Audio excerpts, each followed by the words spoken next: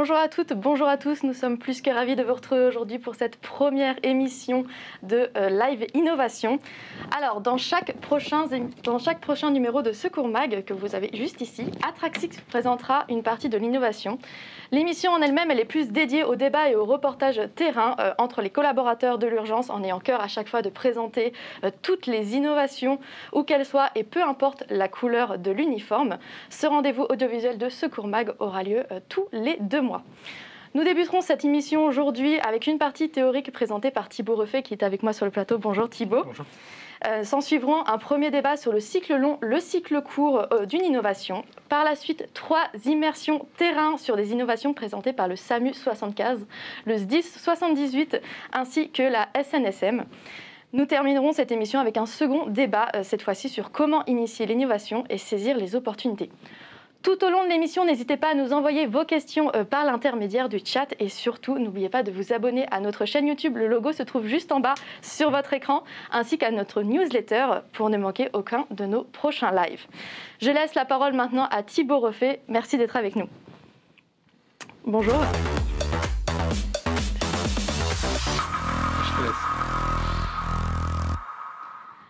Bonjour Thibaut Refait, merci d'être avec nous. Vous êtes président et cofondateur d'Atraxis. Vous êtes également chef du centre au 10 77. Tout à fait. Euh, bonjour Mégane. Enchanté, euh, bonjour à la communauté, bonjour à, toutes, bonjour à tous. Alors je, suis très ravi d'être présent avec vous aujourd'hui et puis euh, ravi également de vous partager des réflexions que nous avons menées depuis, depuis deux bonnes années maintenant. En fait, ce que nous avons fait avec l'association Antraxis, c'est que nous nous sommes intéressés aux pratiques d'innovation dans de activités, dans de nombreux secteurs d'activité, dans, dans, le secteur public, dans le secteur privé, dans des petites organisations, dans des grosses organisations. Et puis suite à ce tour d'horizon de, deux années et demie, nous nous sommes dit ben, qu'il était intéressant de partager nos réflexions à, l'écosystème incendie secours et essayer de proposer comment nous pourrions euh, collectivement, acteurs du secours, réussir à, à, mettre en commun nos, savoir-faire, en mettre en commun nos expériences pour essayer de, convenir ensemble d'une stratégie globale euh, de l'innovation pour les services de secours. Alors l'innovation pour nous, euh, l'objectif est double, c'est innover pour mieux sauver, mieux sauver des vies, pour faire très simple, et innover également pour mettre nos intervenants dans les meilleures dispositions de sécurité. C'est pour nous les deux piliers fondamentaux. Euh, maintenant, je, vais vous présenter un petit peu le point de vue du coup que nous avons, établi. Nous avons fait un petit papier d'une dizaine de pages dessus qui se retrouve sur notre site si, si les gens sont intéressés pour en savoir un petit peu plus. Donc du coup, je vais le présenter. Alors, s'il y a des, spécialistes des sciences de gestion et d'innovation, parfois ça peut être un petit peu caricatural, mais c'est pour essayer de, euh, vulgariser et de, permettre l'échange et le débat rapidement. Ce que nous avons constaté dans nos rencontres avec différents acteurs euh, de l'innovation, c'est que l'innovation dans le secours est un petit peu particulière à, différents égards. Nous, on a fait le constat de se dire qu'il peut y avoir deux grands types d'innovation, l'innovation de cycle long et d'innovation de cycle court. Innovation de cycle long, pour imager, c'est euh, un cycle de plusieurs dizaines d'années euh, qui va permettre de franchir des caps technologiques.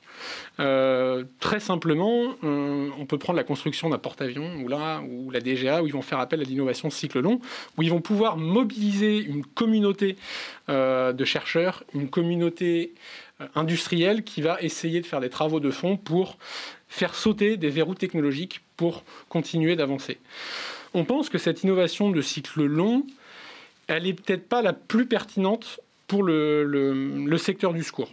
On pense que notre secteur d'activité, notre écosystème, n'est pas l'écosystème de la défense. Il n'a pas euh, autant de moyens, il n'a pas autant de filières industrielles, il n'y a pas autant de chercheurs, ni même que celui de la santé.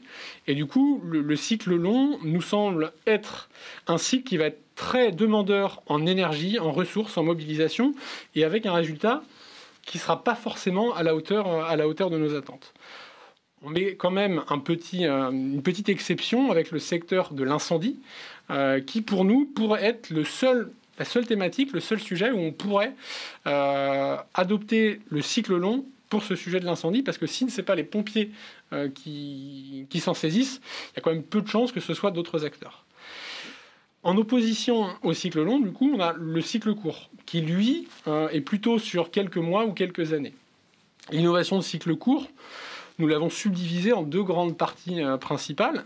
La première, assez, assez évidente, l'innovation participative c'est de dire que dans les rangs des acteurs du secours, comme dans les rangs de toutes autres organisations, il y a des personnes qui ont envie de faire évoluer leur, leur pratique, évoluer leur métier. L'idée, c'est de permettre à ces personnes de pouvoir partager leurs idées et voir dans quelle mesure elles peuvent être intégrées, améliorées et par la suite disséminées, appliquées concrètement euh, dans d'autres lieux de l'organisation. Donc ça, c'est l'innovation participative. Et il y a un deuxième sujet euh, qui est beaucoup plus d'actualité, l'innovation ouverte, qui est moins connue, qui a pour ambition d'essayer de voir comment, dans d'autres secteurs d'activité, on peut saisir des opportunités ou des verrous technologiques ont déjà sauté via de l'innovation de cycle long, et ils sont utilisés dans d'autres secteurs d'activité. Et là, l'idée, c'est non pas d'essayer de, de faire sauter un bloc ou un verrou technologique, c'est d'essayer de se saisir d'un usage de cette nouvelle technologie dans un autre secteur d'activité, alors bien sûr, le secteur de la défense, le secteur de la santé, qui sont des secteurs qui sont euh, en grande proximité de nos métiers, mais également des secteurs comme l'automobile, le divertissement ou tout un tas d'autres sujets. L'idée, c'est de détecter ces technologies et surtout de voir comment on les intègre dans nos pratiques. Et que ce soit l'innovation participative ou l'innovation ouverte, on se rend bien compte qu'il y a un sujet de d'intégrer dans l'organisation pour faire des expérimentations, voir comment la bonne idée, elle s'intègre concrètement. Donc forcément, entre la bonne idée et la réalité, il y a tout un tas d'ajustements à faire. Et pour l'innovation ouverte, entre la détection d'un potentiel et l'intégration dans une pratique, ben, ça nécessite un peu de temps. Et nous, ce dont on se rend compte aujourd'hui, dans l'innovation participative comme dans l'innovation ouverte, on a une difficulté, c'est pour centraliser, que ce soit les bonnes idées issues de l'interne ou les, bonnes opportunités issues de l'externe, et surtout comment on arrive à les intégrer sans perturber l'organisation et à les intégrer de façon assez rapide. Euh, l'enjeu, notamment de l'innovation ouverte, c'est d'essayer de détecter rapidement et d'intégrer rapidement. Nous, ce que nous pensons aujourd'hui, c'est qu'il y a une distinction innovation de cycle long, innovation de cycle court qui, euh, qui est à faire prendre le parti de se dire bah, nos ressources et nos moyens, on va plutôt les axer sur l'innovation de cycle court parce que déjà on peut faire énormément de boulot, on peut énormément faire évoluer nos organisations avec cette innovation de cycle court. Et donc ça nécessite une structuration, une animation, un pilotage. Et c'est pour ça que dans la stratégie que nous avons publiée, nous pensons qu'il est très important euh, d'avoir une structure de pilotage qui va permettre de mieux euh, veiller les opportunités pour éviter qu'il y ait deux fois la même opportunité qui soit détectée, par exemple, et surtout veiller à la facilité des expérimentations dans les territoires, parce que c'est bien ça qui nous intéresse. Et ce qu'on pense, c'est que pour réussir à faciliter l'intégration de ces solutions sur le territoire et les expérimentations, il faut une structure qui a l'habitude de le faire. Parce qu'un porteur de projet, quand il va vouloir faire de l'expérimentation, il va faire face à tout un tas de difficultés. Et nous, ce qu'on pense, c'est qu'il faut qu'il y ait une structure qui prenne toutes les difficultés, entre guillemets, dans la gueule, et qui permettent aux porteurs d'idées ou à la bonne opportunité d'avoir un boulevard pour expérimenter. Parce que expérimenter, c'est déjà très très très très très compliqué. Donc voilà pour notre point de vue assez global euh, sur notre stratégie d'innovation et la distinction innovation cycle long d'un côté et innovation de cycle court. Eh bien, merci beaucoup euh, Thibaut Refait. Tout de suite, on va justement enchaîner sur un débat sur ce cycle long, cycle court, mais juste avant, une rapide page de présentation de nos partenaires que l'on remercie chaleureusement.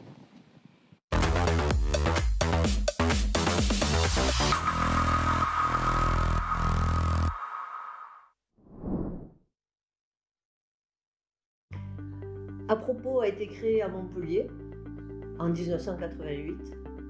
Notre cœur de métier, c'est la conception de logiciels métiers pour les acteurs du secours et des soins d'urgence.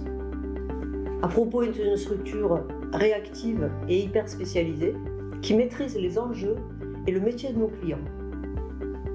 Nous croyons en la force de l'intelligence collective et de l'interopérabilité de nos solutions pour optimiser le secours aux victimes. Nous concevons une gamme de progiciels adaptés à nos clients et notamment URSHAP. C'est une solution intégrée de dématérialisation des fiches bilan pour différents métiers. URSHAP s'adresse en effet aux chefs d'agré, aux secouristes, aux ambulanciers, aux infirmiers, aux médecins, etc. C'est évidemment une solution interopérable avec les différents partenaires, par exemple SAMU, CTA Codis, tous les centres de régulation, et bien sûr les services d'accueil des urgences. Au-delà, URSAP permet de digitaliser n'importe quelle fiche opérationnelle papier, comme par exemple les fiches SSO utilisées pour le soutien sanitaire opérationnel, les refus de transport, les questionnaires noyades, etc. Enfin, URSAP fournit les outils d'analyse des données pour la génération d'indicateurs et de tableaux de bord. Aujourd'hui, URSAP, plus qu'un logiciel, c'est une communauté d'utilisateurs, acteurs du secours et des soins d'urgence.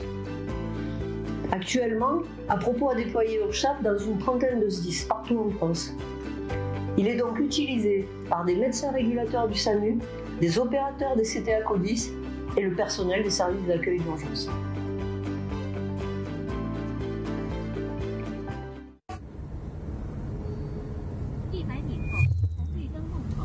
Sommes en guerre. En guerre sanitaire, certes. Nous ne luttons ni contre une armée, ni contre une autre nation. Mais l'ennemi est là, invisible.